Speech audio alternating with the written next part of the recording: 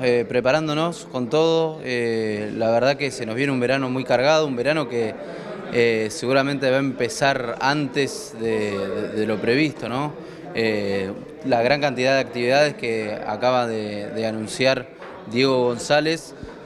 marcan que a partir de octubre ya vamos a tener un flujo muy grande de lo que es el turismo y de actividades deportivas en la playa, lo cual obliga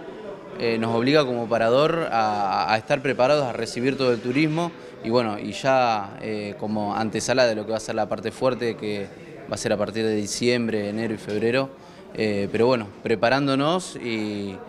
con el parador obviamente siempre a, disposición a todo este tipo de, actividades, siempre brindando lo que podamos brindar para que en la playa justamente, que, que es de todos, se puedan llevar a cabo este tipo de actividades y cualquier otro tipo de actividad, ya sea cultural, eh, deportiva, eh, las puertas de acá siempre van a estar abiertas. Bueno, no es solamente un servicio gastronómico, un servicio para que la gente pase, tome algo, este, sino también sumándose a lo que tiene que ver con, estas cuestiones ¿no? que atrae mucho a la gente. Tal cual, tal cual. Justamente recién lo hablábamos con, con Diego de ver qué, actividad poder ubicar eh, en este parador. Hay algunas que ya tienen definidas y otras no y, bueno, brindándonos como para que nos puedan tener en cuenta nosotros también y para que eh, se puedan llevar adelante estas actividades en todos los puntos que tenemos acá, acá en la playa, ya sea en lo que es el mar, en lo que es la arena, eh, pero, pero a disposición con las puertas abiertas